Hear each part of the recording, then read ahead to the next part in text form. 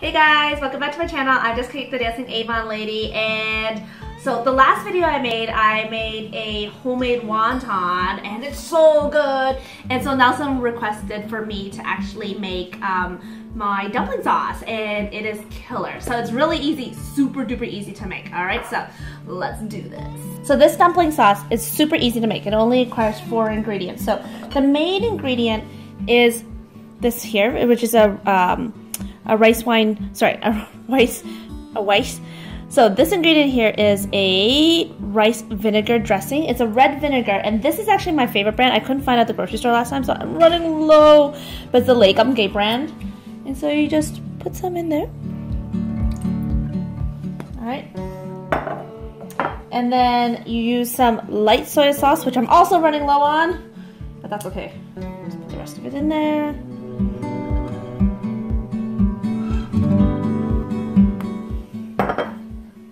Some sesame oil,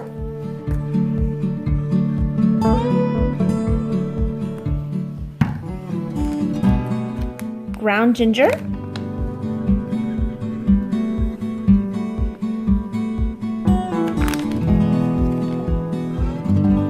and pickled ginger. So this is the type of ginger that you put on top of sushi. You take some. Slice it up.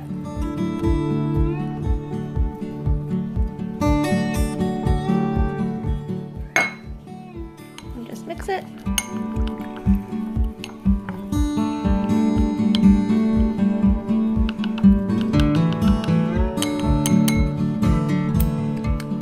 Paste it, and if you want it a little bit more acidic, you just add in a little bit more of the vinegar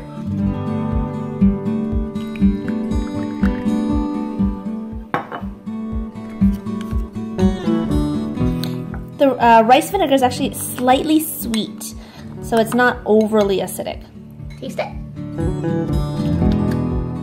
Perfect. So now, you can add like scallions and stuff to it too. Dig your dumpling. Dip it in. Get a little bit of everything in there. And enjoy.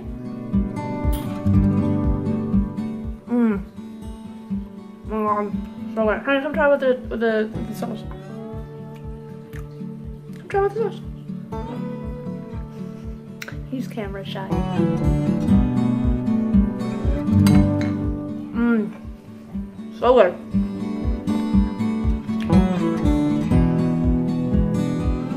So that's it for this video guys. Thanks so much for watching. If you enjoyed this video, give me a big fat thumbs up. And until next time,